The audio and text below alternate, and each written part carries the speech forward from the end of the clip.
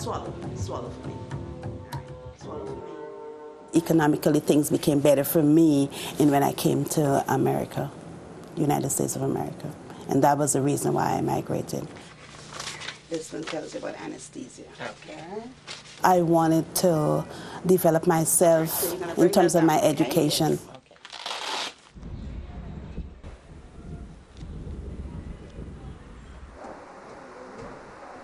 I am grateful that I was trained in Guyana. I didn't pay a penny for my training in Guyana. I had four years of training and, and four years of quality training that I am very proud of.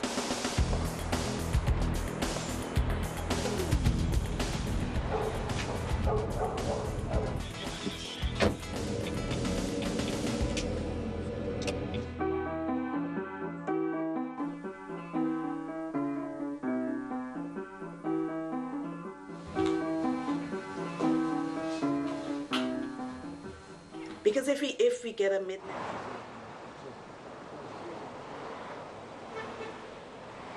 Dr. Bindi Patel is responding.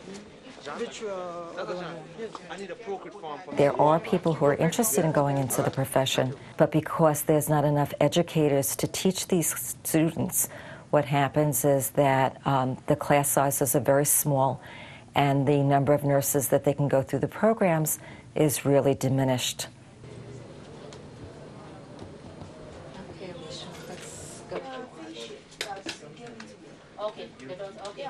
Many of our nurses come from the Philippines, from Guyana, from some of the Caribbean islands.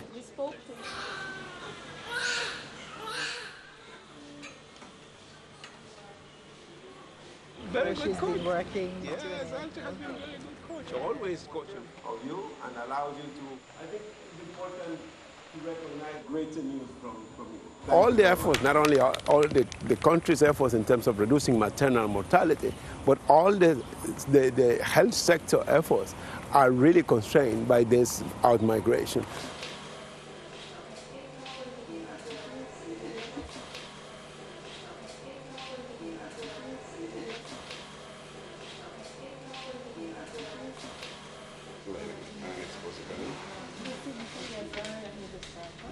We try to give the best care as possible.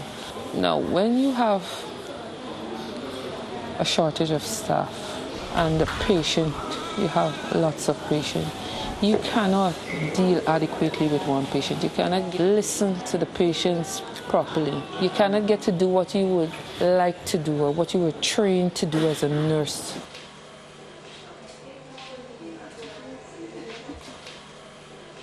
Everybody wants to afford to do what they have to do comfortably, right? For the families and for themselves.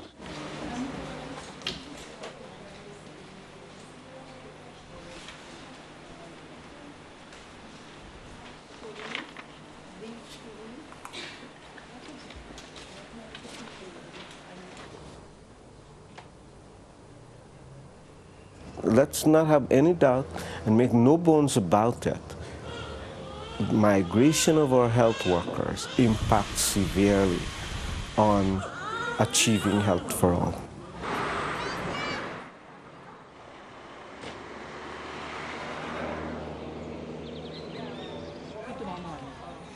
If salary, for example, is one thing that attracts people to other jurisdiction, there is no way that we will compete in the foreseeable future with the United States.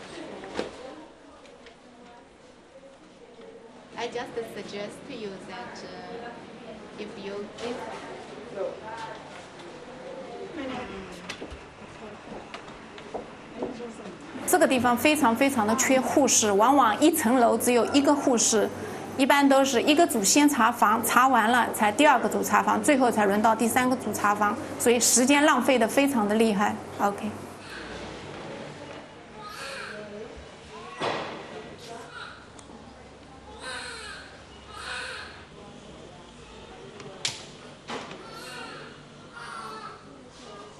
I had almost completed my contract, probably like a couple of months short of that before I left, but I still had to pay some money.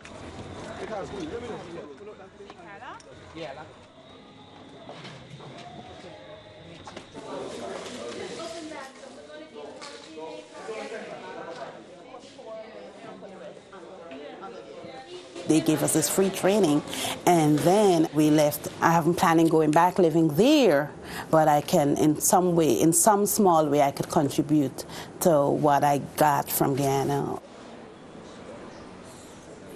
They have helped to reduce the gap the deficit that exists in terms of financing. They have been able to provide some much needed human resources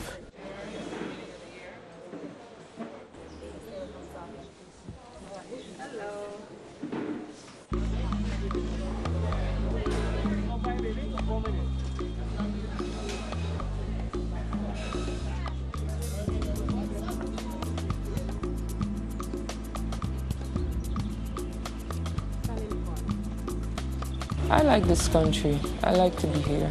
But if an opportunity presents itself, I'll go. Right? Because I have served my contract.